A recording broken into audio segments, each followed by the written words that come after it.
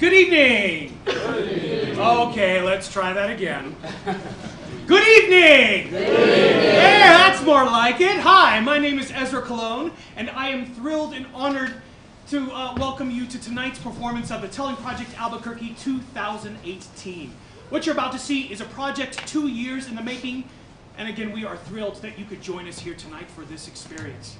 Just a few uh, announcements before we begin. First, I'd like to thank our sponsors and donors for a full list in your program, who without this show, their supports, this show, all season long, our shows, would not be possible. I'd like to take just a couple of uh, seconds here to give a special shout out to Payday HCM, the Scott Family Foundation. Thank you so much. Yes, yes, yes. And I'd like to give a special shout out to our lead sponsors for this show, New Mexico Arts and the National Endowment for the Arts for their generous support of live theater here in Albuquerque. Please join me in giving them a round of applause.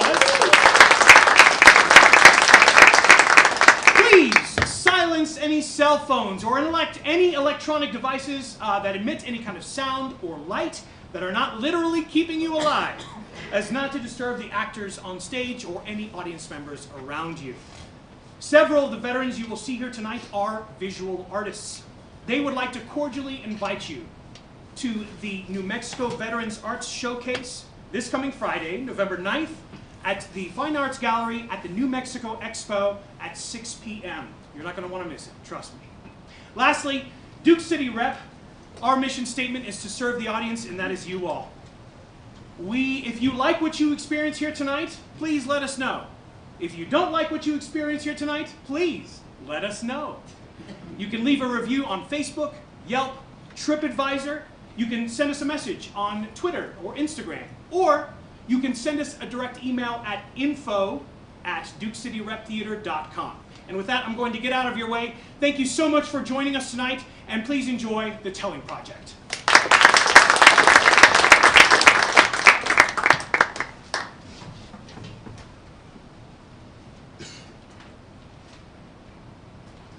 Are you ready?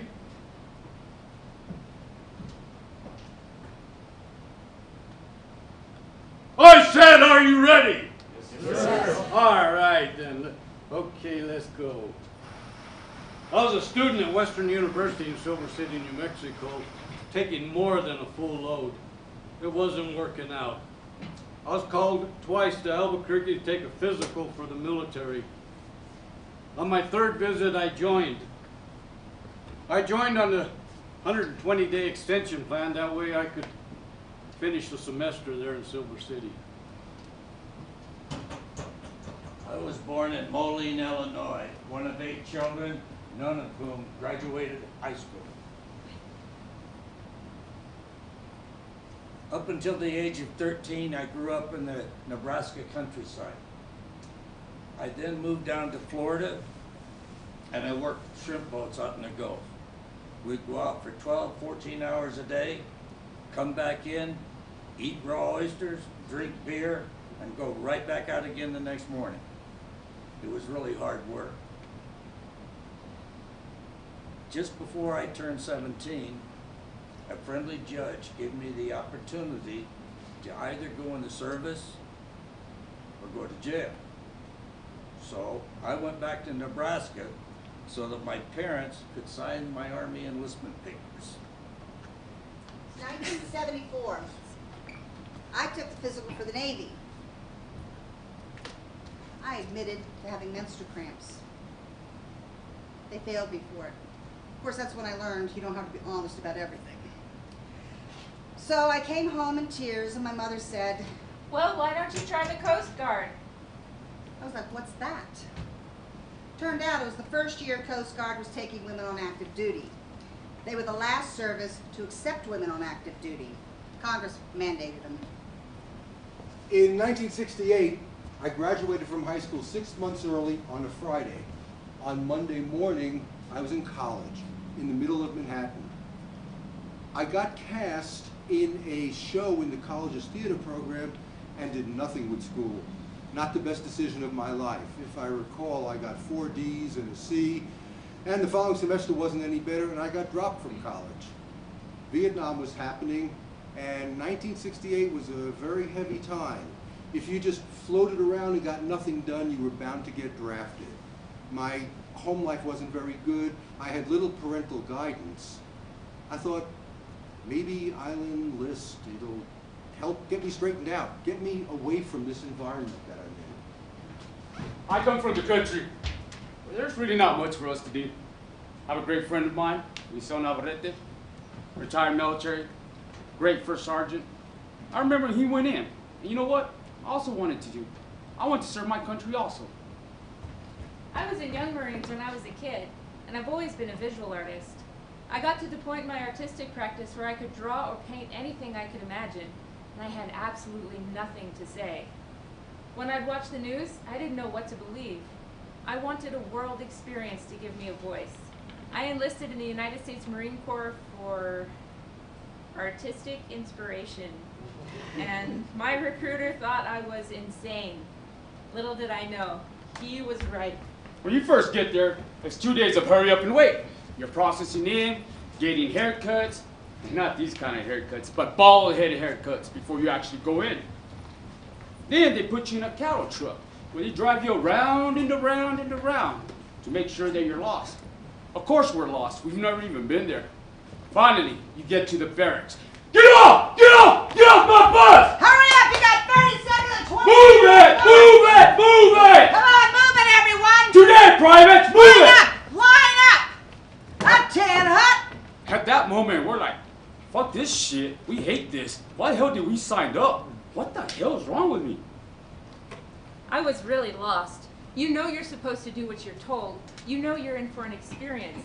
You're constantly on the edge, waiting, wondering when's it going to happen. You go from being a high school kid to being part of this organization where you're no longer a civilian. You're no longer in a democracy.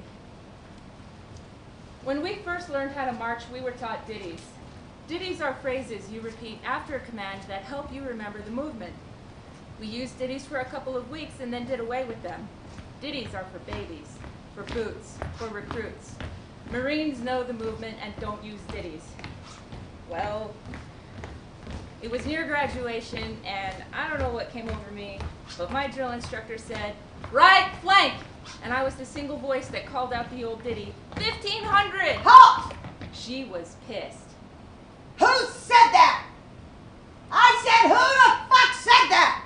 This recruit, ma'am, Does that mean you want me to punch in your face? might help, ma'am. She held in a laugh and quickly turned around to hide it and got right back to marching us. Left face. My drill instructors were amazing women. They were like real life comic book superheroes pure muscle, all power, perfect Marines. Nothing at all like the goofy mess I was. But my favorite part of boot camp was learning how to fire my weapon. And when I first started, my instructor said, Neely, you're more fucked up than a football bat. I was blind as a bat, too. But they had me at sharpshooter before graduation. Firing your weapon is sacred. You learn that your rifle is an extension of your body, a machine that operates and responds to your every breath. Breathe in, breathe out. Pay attention. There is a silent pause between breaths, a single moment in which your body is completely still. You breathe in, and you pull out all the trigger slack, then breathe out. In that moment of stillness before you take your next breath, that's when you fire.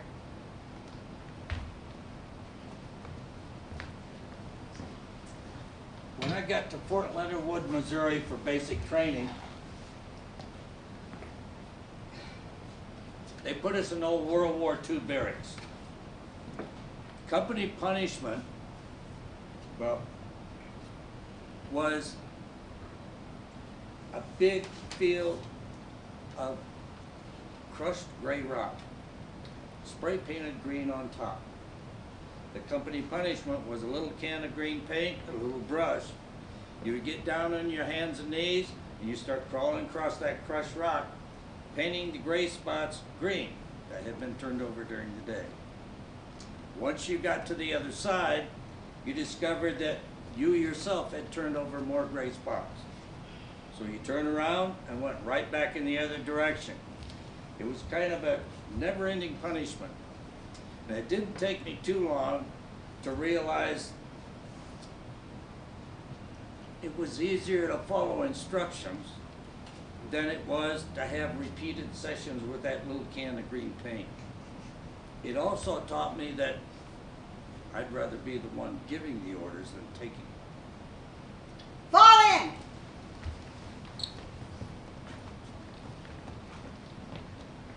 Left, right, face! Mark time, march! Left, left, left, right, left, left, left, left, right, left. On my first day in boot camp, I learned the of many important lessons. The Coast Guard was the first service to have integrated companies. So the women would meet up at the men's barracks. As I was running back to my own barracks, I failed to salute the company commanders of three companies in formation. Picture this. I'm a 120 pound little girl. Got these three huge men hanging over me, screaming at me from all sides, and all I could do was stand there and take whatever they were giving me, close my eyes, and said, I'm not gonna cry, I'm not gonna cry, I'm not gonna cry. Then I went back to the barracks, climbed up on the, the shelf over top the sink, and cried for 20 minutes. But I never let them see me cry. Company, halt! Left face. Parade, rest! Snap! The only book we were allowed was the Bible. I'm an atheist. I was the only atheist in my platoon. We had the option not to go to church. I was the only recruit who didn't go. So they called me the heathen. I brought my favorite book to boot camp with me, and on it I wrote, This is my Bible. Please don't take it away from me. They rolled their eyes, but they didn't take my book away. It was Zen in the Martial Arts by Joe Hyams, a student of Bruce Lee. It helped me mentally prepare for combat. Bruce Lee said, The mind is like a fertile garden.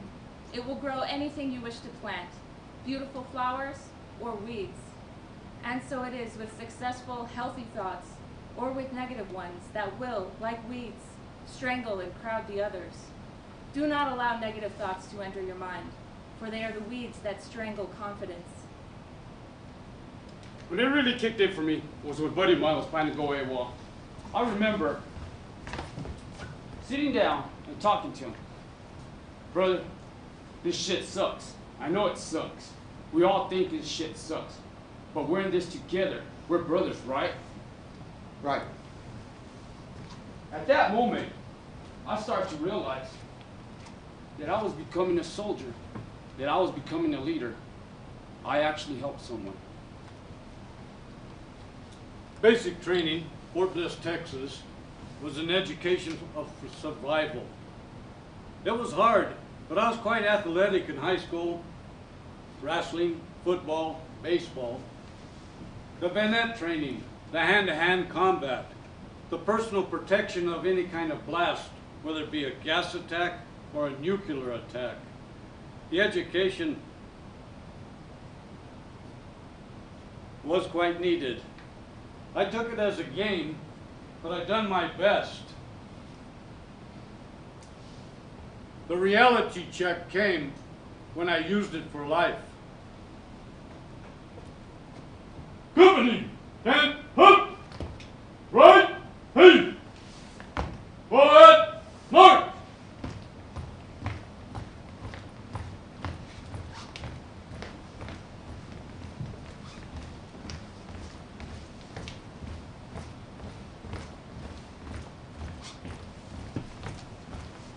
Company, halt!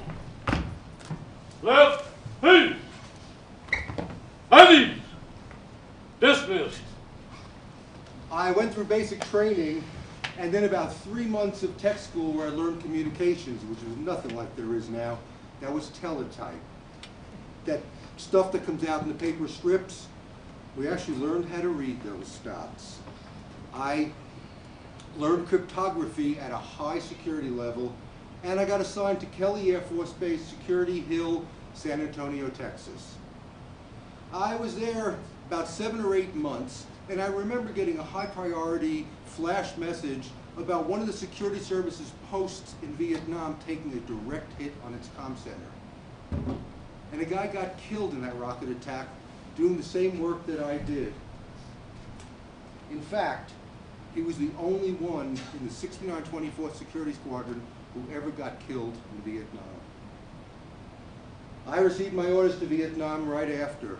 It might have just been coincidental, but it always felt like I was replacing this guy who just got killed in a comm center somewhere in Vietnam.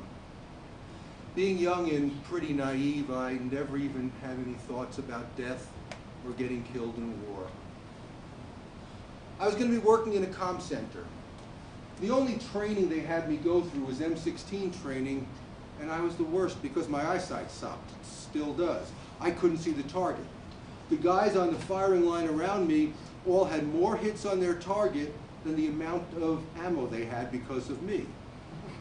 But that never prevented me from going. The truth is, in the year I was there, I never once touched a weapon. May of 70, we went out by way of Hawaii and Okinawa. On the flight going out, everyone was quiet, apprehensive. Arriving in Da Nang, the thing that most struck me being a 19-year-old kid was that in the Da Nang airport terminal, there were women breastfeeding their kids. It was something you didn't see back in New York in those days. That that picture stuck in my head. And it really wasn't much of a terminal. It was more of a clearing place for American military coming to or leaving Vietnam, or for the flyboys going out on their missions. And it wasn't fancy by any stretch of the imagination. I was a shift worker. Com Center was open 24 hours. We worked 12 on and 12 off, and then every couple of weeks we got some time off or something like that. I was one of the people who ran the Com Center. Basically, we sent out messages when we got them from officers or whoever. We, top secret ones, we received messages, we distributed them. We used all this cryptography for those messages that required a high degree of security. Happened all the time. There were always messages coming in messages going out. And the comm center was really nothing more than a small mobile type of unit. When working through the night and being alone, your imagination ran wild and you dreaded the sirens alerting you to an incoming attack. We, we would huddle in corners. We would hope for sleep. We would hope for no attacks that night. And we waited for the relative safety that the sunrise would bring. At Aberdeen Proving Grounds, Aberdeen, Maryland, I was trained in all phases of welding, military, occupation specialists, Army Talk MOS, 44C20. What did that mean? Welder blacksmith. That school lasted 11 weeks. The military didn't know what to do with me, so they had me making propaganda movies. There at the Aberdeen Proving Grounds, they had a large Viet Cong village set up, and we were to attack it and kill gooks. I didn't have a speaking part, but I'd done a lot of running with a weapon in my hand. Then they found a place for me in West Germany, a small community called Pforzheim, where I worked as a welder in a Pershing missile unit. I married a European. She's English, not German. And the Tet of 68 happened nine days after the wedding. They gave me 48 hours to clear the post. So I left my wife Lillian in West Germany and kissed goodbye. See you later. I came here to Albuquerque, New Mexico and signed in at the Kirtland Air Force Base. Not intending to go AWOL, but I was seeking a hardship waiver. It didn't come. So I got orders for Seattle, Washington, Fort Lewis. There I spent three weeks under some type of orientation. Then orders came from Vietnam. Seattle, Washington, Anchorage, Alaska. Anchorage, Alaska to Japan. From Japan to Cam Ranh Bay. I didn't believe in failure, I couldn't quit like some guys. I discovered that it didn't hurt to be hollered at. Regardless of how many times someone got up in your face screaming at you, it didn't hurt.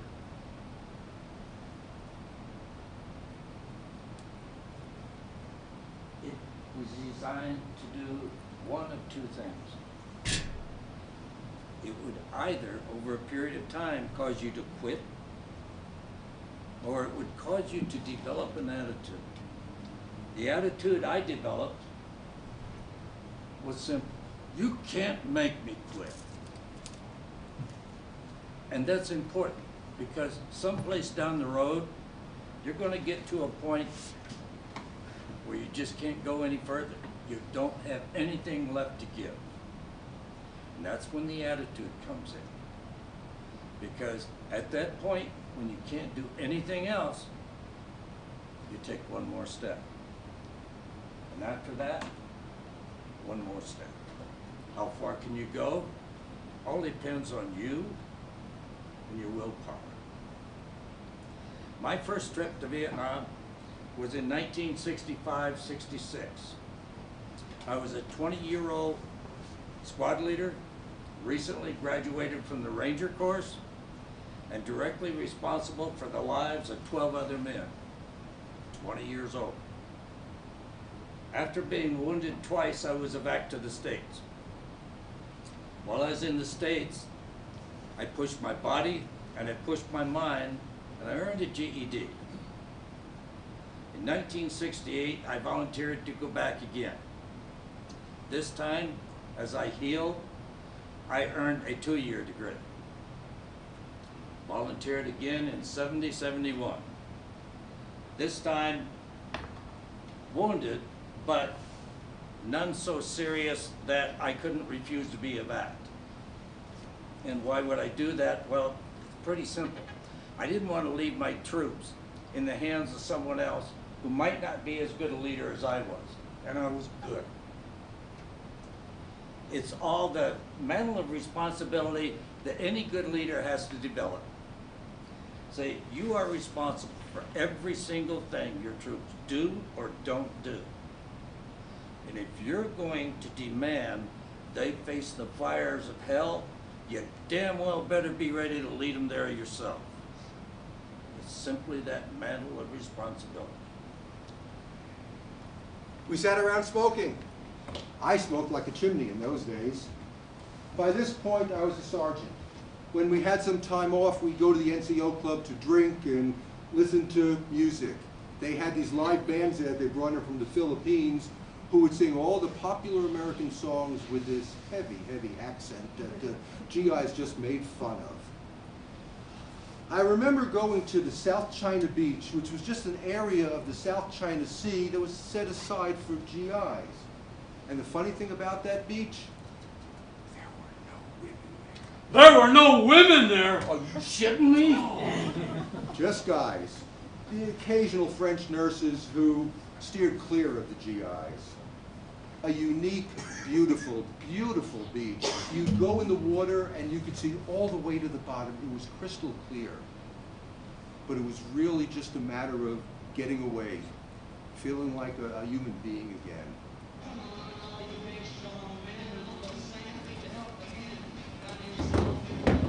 And then there was this little room within the barracks where, when we weren't working, we'd sit up all night and play cards, and the music would be going, and then the sirens would go off, and you'd hear the rocket explosions, explosions, and you'd hit it. The whole idea behind that is when the rockets come in, they go like this. So if you're down here, less chance of getting hit by shrapnel. And then they would sound the all clear, All clear. and we'd get back up and pick up the cards and keep on playing. No one counted their money. It was an honor system. And there was this area outside the barracks where they showed movies. And if you weren't watching the movies, you were watching this light show, which actually were our helicopters and gunships firing on the areas surrounding the base. Red streams of light that looked fascinating until you remembered what they were made of and the damage that they did. On the other side, the Viet Cong fired into the base all the time. We'd sit in our chairs, lean back, drink our beer, and watch. Always careful for the Marines across the road from our squadron who, when they had a few drinks in them, would party by firing their M16s into the air. As strange as it may seem, I never remember feeling scared. I will never forget flying out. We get on this Pan Am airliner, it's all military, and I remember it goes down the runway and goes straight up because you didn't fly over the territory, you get shot down. It goes as high as it can, as quickly as it can. And then everybody on the plane starts and finally, finally, we sit back, relax, and take a deep breath. I remember taking a red eye from LA to New York, and, and there weren't very many people on the plane, so they put me in first class. And there were only two other people in first class, one of those people being Mama Cass, with a partner who slept the whole time. I spent five hours flying from LA talking to Mama Cass. She, she asked me about the war. She wanted to know about the experience, what it was like over there. She never took this negative anti-war attitude. She wasn't stuffy or stuck up in any way. And when I got off the plane in New York, my family never saw this rock star. They were so focused on me. And then I was home. I arrived in Cam Ranh Bay aboard the Flying Tiger, a civilian aircraft, well over 200 personnel aboard, and you don't know a soul. First thing that hits you is the 110 degree heat, the 90 plus humidity. And they called us into formation on the tarmac, simply because the terminal was rocketed and mortared the night before. And I heard this sergeant call out, I need 10 volunteers. I want you and you and you and you. I was one of the youths. They handed us body bags. They took us into the terminal, picking up body parts, legs, arms. That was the most trying situation. After the puking, the crying, and the shakes, I had to pull myself together and say, this is a war zone. Shit's gonna happen. And it did. It happened. 610 Air Transport was my home, my base duty station. Eight miles north of Da Nang. Was a helicopter maintenance. I worked closely with the machine shop and the turbine engine rebuilding shop. We worked on all types of helicopters. But the most common one was the Huey. Busted up landing skids, shot up fuselages. The little loaches, they're the ones that took a beating. On quiet days, we'd sit in a welding shop and weld up exhaust manifolds. At the time, I was running with a fellow from Hawaii, Frank Onchetta. Oh, no, no, bro. Let's go. We'd drink a lot of beer, get drunk, and then go skinny dipping in the ocean. He was teaching me how to body surf. We was out good 200 yards offshore, and out of the dark came the largest turtle I've ever seen. Ooh, scared the hell out of me. He's bigger than a Volkswagen. I was thinking to myself, I'm a desert rat. Get me back to shore. I don't need this. We didn't have liquor license, but we did have beer permits, and we could keep them in the hooches.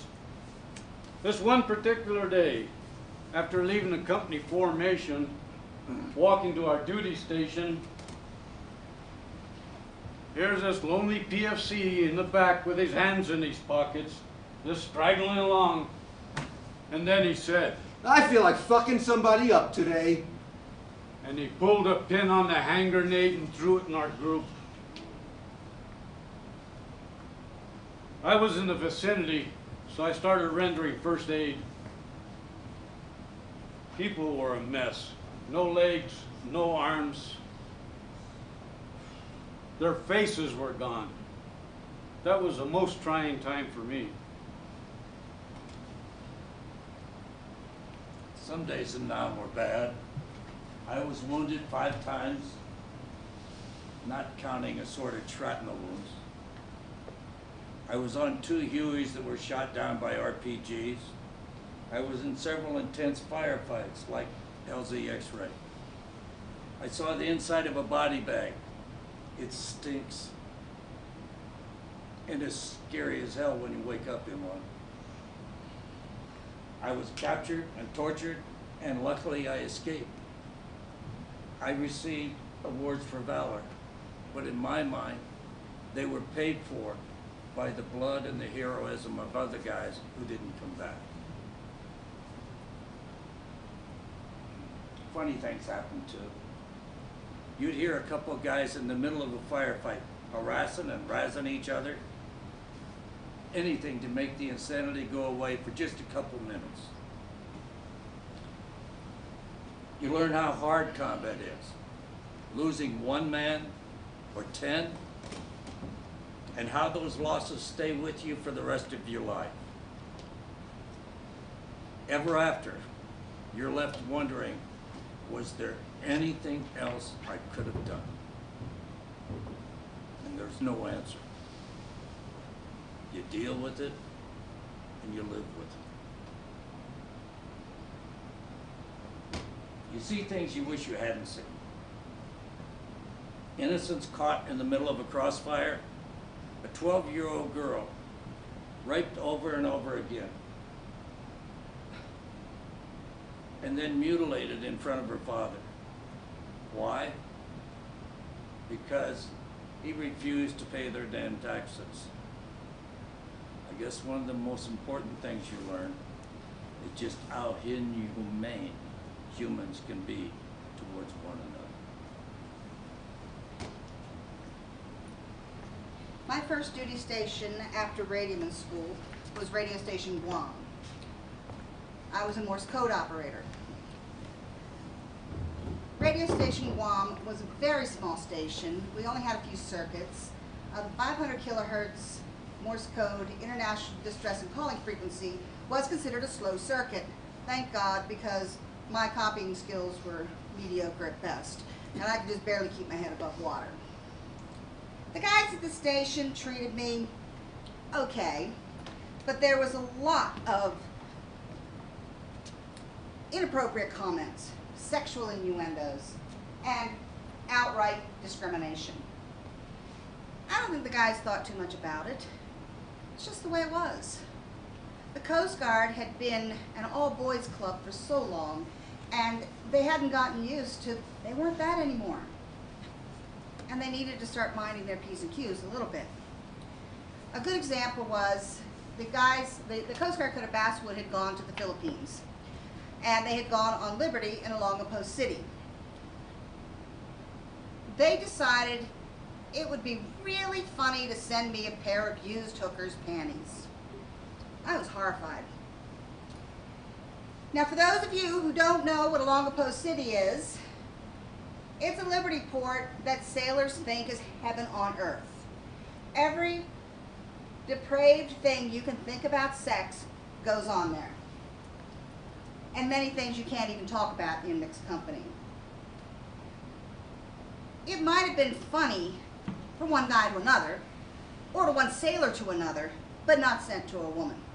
Talk about a Me Too moment.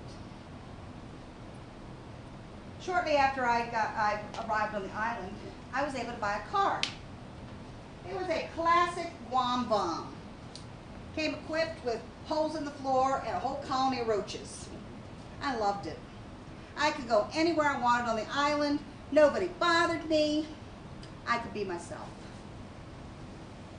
It took me a while to learn that I couldn't be socially friends with the guys at my station. It came down to what they thought they could get off me, i.e. in bed. And about six months before I left, I left Guam, I was raped by one of my shipmates. It took me 17 years to understand I'd been raped. I was on the Central Park jogger trial in 1990, and that was the first time I'd ever heard the actual definition of rape. But in 1976, they didn't tell you about date rape. It was just something they didn't talk about. I have never forgotten his name, and I've never told anybody who it was. And I remember every second of the attack. My next duty station was Coast Guard headquarters. Coast Guard headquarters was a very good station. In fact, I did a second tour there. Uh, the, the guys were a lot older, more mature, much more senior to me. I enjoyed the work, but even though I was only 50 miles from home, I'm from Baltimore, um, I was working in an office. And I didn't join the military to work in an office. When I graduated boot camp, the ratio of female to male Marines was 1 to 200. I had no idea what I was about to face. I wish that I had had better guidance back then. Somebody to say, hey, don't let the guys get to you. One of my drill instructors tried to prepare us for it. Before graduation, she sat us all down and she said, I want you guys to know that when you get out there, the men are going to think of you as either a bitch or a whore or a hoe. She said they were the only two choices the men would give us. I had no idea what she meant. It was really hard being a female because there was always the sense that you were doing something wrong. And it was distracting being a female because so many of the guys wanted to sleep with you. Once you're deployed to a base offshore, you become like an endangered species. Somebody's always staring at you. Every male knows your name. I was stationed in Okinawa. We were doing squad rushes and my knee dislocated, bent the opposite direction. This was right before we went to Fuji. Often, if you were injured, you were punished. So to punish me, they put me to work in the kitchens. In the kitchens, I was surrounded by grunts, Marine Corps platoons who have no females. They hadn't seen a female in I don't know how long. It was like being a walking piece of meat among wolves. When the women in my platoon were out training, I was left alone in the squad bay, and I was raped. When they returned, they found me laying in a cold shower. I don't know what happened to me. I don't remember. I had carved the word no into my arm. They carried my shivering body out of the shower and wrapped me in a towel. We should have reported it, but none of us knew who to turn to, and all of us were afraid that we'd be in even more trouble if they found out what happened to me. So they went and got the guy I was dating at that time, and he carried me in a towel off to an empty barracks and fucked me again. And afterward he said, I just didn't know how else to make you feel better. In 1977, Coast Guard sent out the word that they were looking for women volunteers to go to sea. I threw my name in the hat. Several months later, I became one of the first women stationed on a combat ship. And on October 21st, 1977, I reported on board the Coast Guard cutter Gallatin, stationed out of Governor's Island, New York. First patrol went pretty good. We didn't really have any problems. But when the ship had uh, reached the sea buoy, heading back into New York Harbor, we were met by a tug that transferred on board a reporter and photographer from the Navy Times. They were going to do an expose on the first women going to sea. The guys didn't like it very much. In fact, a lot of them resented it. And the women weren't wholly welcome when we first went on board anyway. Things, uh, my luck ran out when my current chief radioman uh, transferred out and we received a new, new chief radioman who had actually been a first class I was stationed with on Guam. He didn't like me.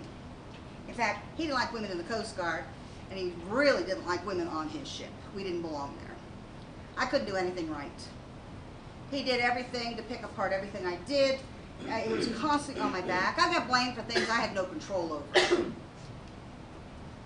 A few months later, things went from bad to worse. We had this kid, real piece of crap radioman, report in from radioman school. He had been busted twice for pot and got back into school a third time. To this day, I haven't figured that one out. Um, but that was before zero tolerance.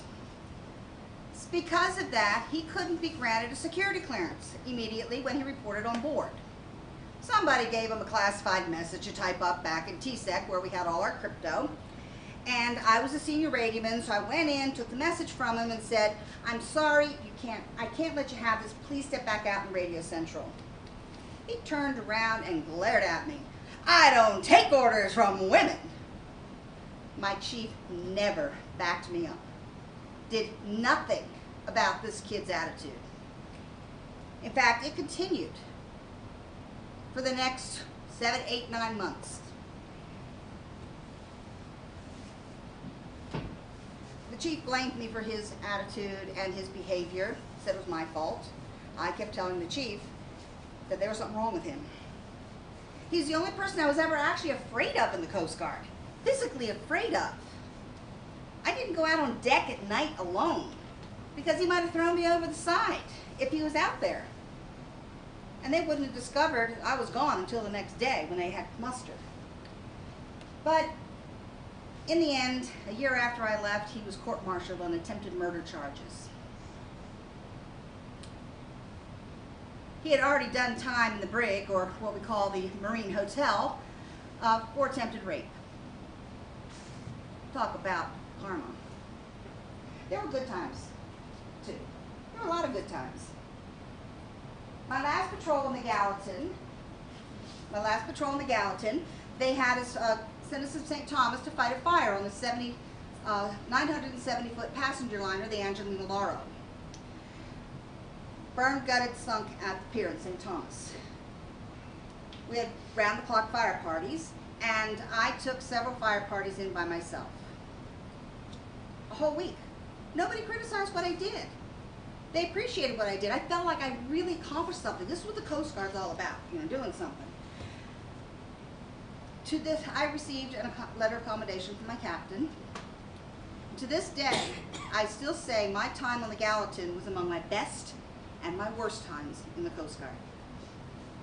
I was trying to focus, just trying to do my job. There are so many things I don't remember. Twice I woke up in the hospital, on another base, with no idea how I got there or why I was there. I was a good Marine. I had a lot of respect for my fellow Marines. But why was nothing said?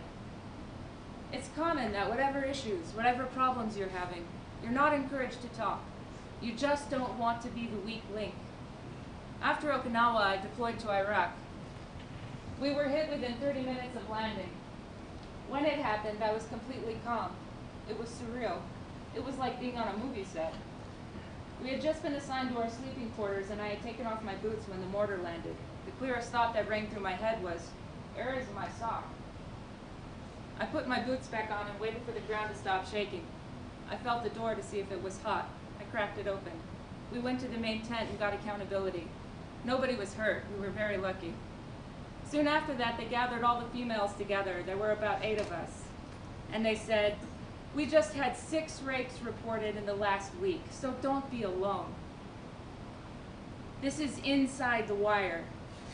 I just remember thinking, I'm one of the only fiber optic technicians. I'm going to have to go repair lines. I'm going to end up alone.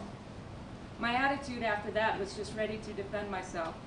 I was ready to kill 24-7, condition one behind the wire, thinking, I'm going to have to kill another Marine. Fiber optic cables are made of glass. They're strands of glass thinner than a human hair. In a combat zone, it's common for that glass to shatter, even with Kevlar casing. When that happens, you have to locate the break, strip it back, and cut the line. Then you have to melt the glass ends together, and you have to get it as perfect as you possibly can, or you'll have signal loss. So in the middle of the desert, in a sandstorm, with a Marine holding a poncho over us to keep the dust off, I had to manually line them up under a microscope and use the fusion splicer to fix the break in the lines. That was the coolest thing I ever did.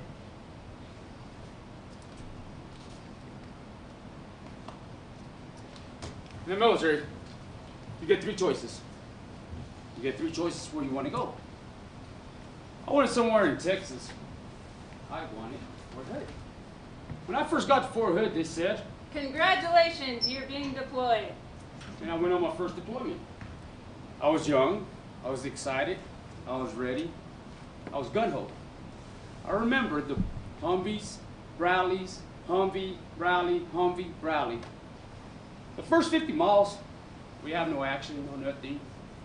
Then we actually hit the border. And I remember they started firing at us, and we started firing back. It was nothing like what we trained. We trained with blanks. This time around, you actually hear the ping, ping, ping. You actually feel the heat of the bullets pass your head. After that, I don't remember. I just know that they had the equipment, but they didn't have our kind of training, nor did they have our firepower. They trained us. They trained us to be hard. They trained us to shoot. They trained us to kill. Show, you know. But damage that our Bradleys and tanks did, innocent people dying, kids getting hurt, they didn't transfer that shit. They didn't train us to see families and kids begging for water, food. Some of the fathers were trying to give us their daughters and you know for food and water in exchange. That threw us off. Shit, I couldn't even believe it. 15 months after our first deployment, we went back to Fort Hood. You know what we did? Started drinking. Some of us didn't want nothing to do with anybody.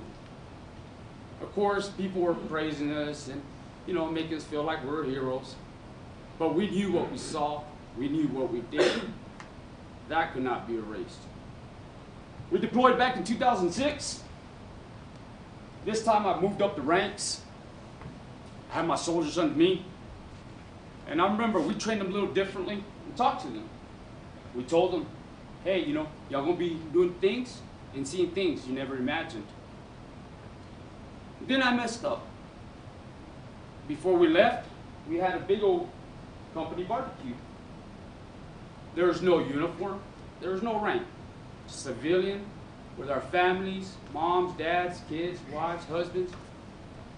I made a promise. The reason I made this promise is because I had already deployed, and I believed in my leadership, and I believed in my guys that we were, we already deployed together before. But I promised I was going to bring them back. Six months into Duania, we're coming back. We're coming back from our mission. The next thing I knew, I was upside down. The next thing I knew, my world was spinning. The next thing I knew, some of my guys, body parts and blood, were all over us. The next thing I knew, I felt like someone beat me with a bat. The next thing I knew, I was in Germany. Everyone, for one second, just close your eyes, open them. That's how quick it was. After Nam, I didn't believe that I had any problems. But over a period of time, it becomes a little bit harder to ignore.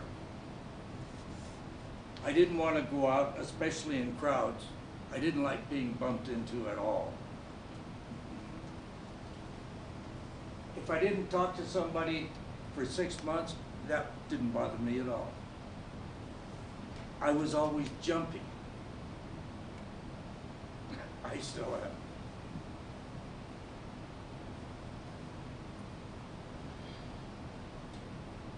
And I didn't understand why other people didn't understand me.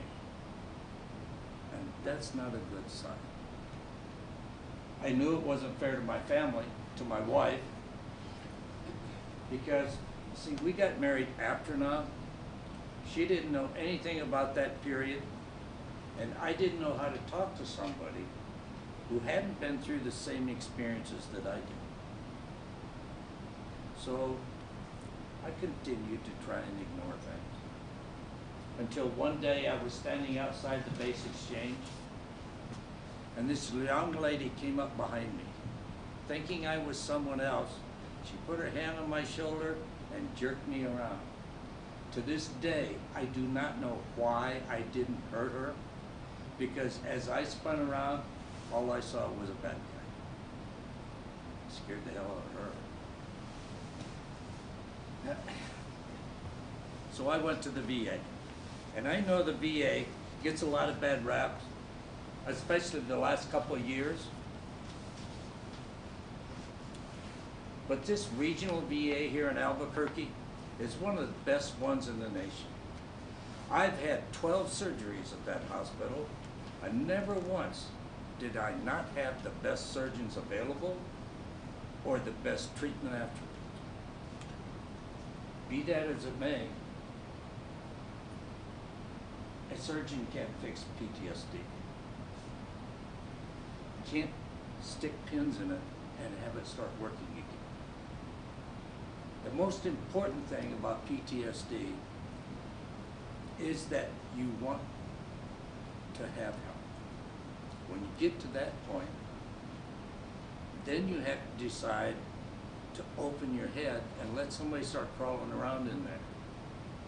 It's scary, and I guarantee you, it's one of the hardest things you'll ever have to try to do. I failed my guys. Why the fuck was I alive? I hated this world. I wanted to die. I wanted to commit suicide. I remember grabbing the knife and slicing myself right there. I made a promise, and I want to be with them. We're proud to serve our country. We raised our hand. We're grown men and women. Unfortunately, sometimes we gotta do and see things we never imagined.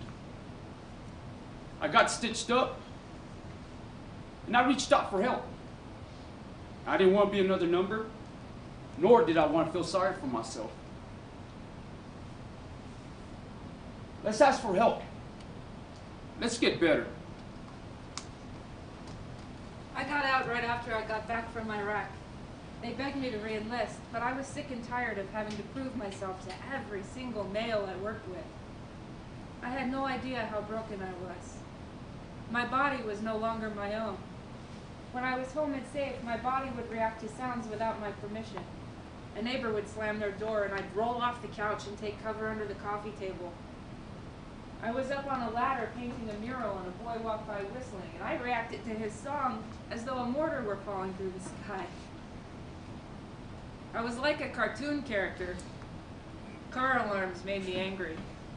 Even though I knew what the noise was and I knew it would sound again, I couldn't not jump. I kicked the lights in on somebody's poor truck. Fourth of July was the worst. I heard shots fired and I canvassed the neighborhood with a loaded gun. I nearly shot some kids who were just playing with firecrackers. When I got back home, I put the loaded gun in my mouth and I pulled out all the trigger slack, just to see what it felt like. It got me high. It felt so good to know that all I had to do to fix my problems was pull that trigger. I got rid of my gun the next day. I alienated myself from friends and family. I was deeply angry, terribly sad, and I felt completely alone. I wanted nothing to do with anything associated with the military, and I refused to call myself a veteran. I burned my uniforms and my records, and I did not know that I was a mess. It got worse. I committed suicide on December 31st, 2015. It was my birthday, and I didn't want to be around for another year of this shit. I took a bottle of acetaminophen dissolved in liquor and tried to donate my organs. I thought I could do one last good thing. And after I swallowed the poison and believed I would die, I felt overjoyed. I walked miles to the VA hospital thinking, excuse me. I walked miles to the VA hospital thinking, They could harvest my organs from my corpse by the time I got there. But that's not what happened. A security guard found me and I begged him. I'm trying to die and it's not working. Please kill me. He said, No, hun, not today. He called the medics, and after three days in the ICU, they sent me to the psych ward. It's a place called Ward 7. And I was surrounded by male veterans, and I did not want to come out of my room until I heard the most beautiful music coming from outside.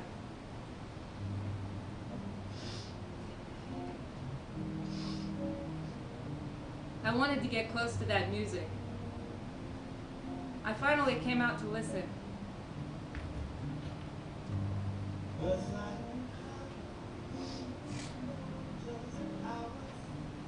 The man playing was named David, and he welcomed me. He told me his story, and I told him mine, and we both began to heal. Then, one after another, I met my fellow veterans, and we opened up to each other. Together, we broke the silence and found hope that perhaps our lives are still worth living.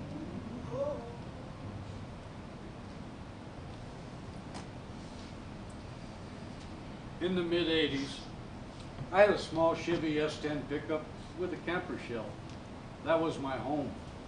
I worked for a company that had showers, a restaurant, for a small cafeteria.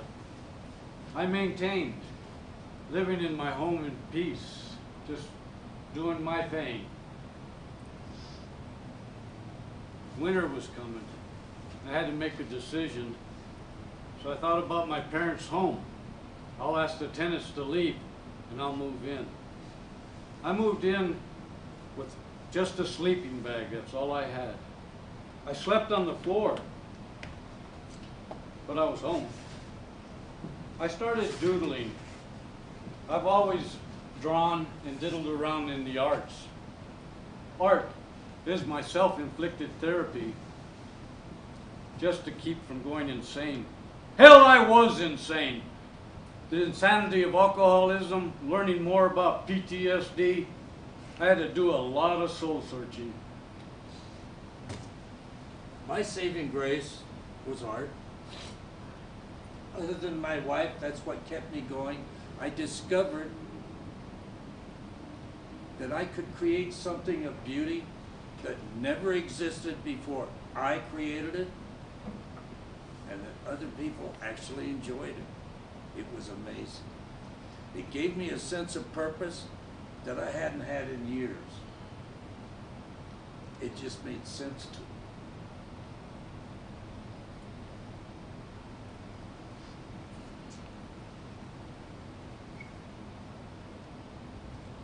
I believe the Father always has a reason for everything. Whether we understand it, whether we like it, is not the point. The point is, He has a reason, and that's good enough for me. Every time I create a new piece of art, and I put my name on it, I realize that it looks a lot better there than it does on a tombstone. After all, because of art, I'm still here, and I'm talking to you because it takes all of you, all of us, to support each other. The truth is, even up to this day, I rarely talk about my military experiences. I was in a Flying Star restaurant one day with my grandchildren, and I'm standing on line, and this guy comes up, Sir, thank you for your service. You guys are the real, and he goes on and on. And I'm thinking, is he talking to me? Because I never got this when I came back. I had put all that military stuff aside. But it happens more often now when I wear my squadron hat, and it still always takes me by surprise. The world is very different now. I am so pleased that even though I may be against wars, at least the military, we're not blamed. Back then, we were blamed. And I finally got those college degrees that I failed at so miserably in 1968 and 1973. Thank you, GI Bill. I don't get to DC very often, but I was there a couple of years ago, and we went to the wall. And I wanted to find this guy from the comm center who I thought I had replaced. I had never met this guy, but I was determined to find him. And I found him. It was so sad. It really was sad. I was diagnosed with traumatic brain injury and PTSD. I forget my own phone number.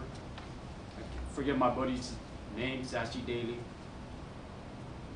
I forget my things I have to do throughout the day.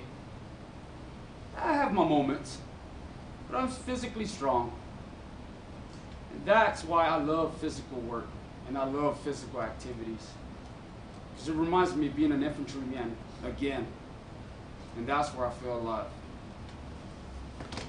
In 2004, I retired from the reserves. I was recalled to active duty right after 9-11, so I did an additional three years on active duty.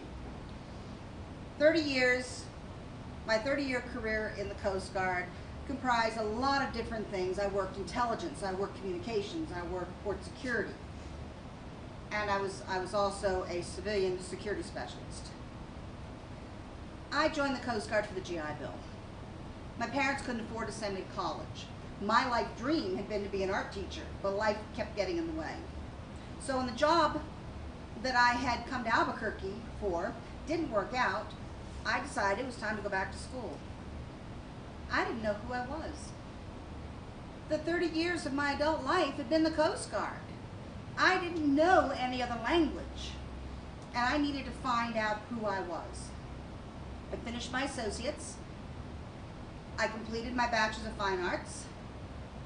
And last December, I finished my Master's in Art Education. I'm currently working on a project that's dedicated to women who died in the service of our country. Women are far too often forgotten.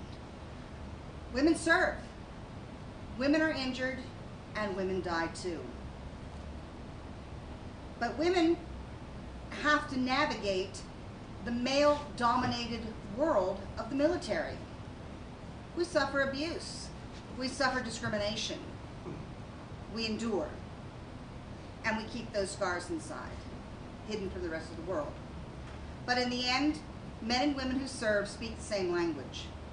We understand each other. As a professional fine artist, I have two monumental sculptures here in the Albuquerque area. One is a life-size bronze honoring the Vietnam veterans. It's at the New Mexico Veterans Memorial off of Louisiana, just outside the Gibson Gate. The other is in the village of Tijeras Canyon Veterans Memorial Park. It's a four-foot by eight-foot sheet of steel, Old Glory. During any military conflict, the American people are divided in their thoughts. Old Glory is torn to distribute the hardship that the, the nation was in. The red and white stripes are separated. One stripe may represent the military population, the other stripe the civilian population. What held our country together was a fine piece of thread. And that was the love of our country from both military and civilian. The stars give the illusion of falling out. That's in honoring that those who died in uniform, the MIAs, POWs. But most of all, those troops that came home and they're living under bridges. They're homeless. They are the true stars. There was a lot of bitterness from the civilian population towards Uncle Sam.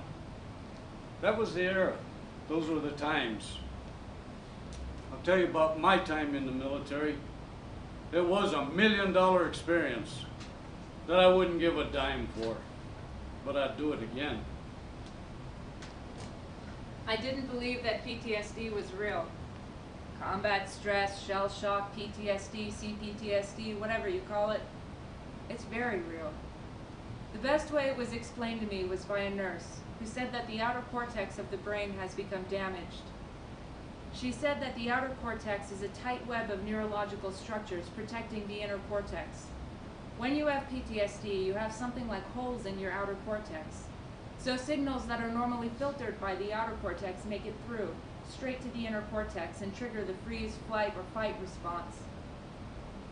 I am proof that you can recover from severe PTSD, but living with it is a long and complicated process. I continue to work with a team of specialists at the VA to deal with it. It takes a combination of medication, therapy, and routine counseling to process your past traumas along with your current life. If I could go back in time and talk to the young Marine that was me, I'm trying to figure out what I would tell her. If I can figure out what to say to a young woman in the position I was in, I can heal that way. I don't know what I'd say yet, but I've been thinking about it. Katie Neely, United States Marine Corps. Marty Epstein, United States Air Force. Roy Breckenridge, United States Army Rangers. George Herman, United States Army. Victoria Robillard Briers, United States Coast Guard. George Ua, U.S. Army.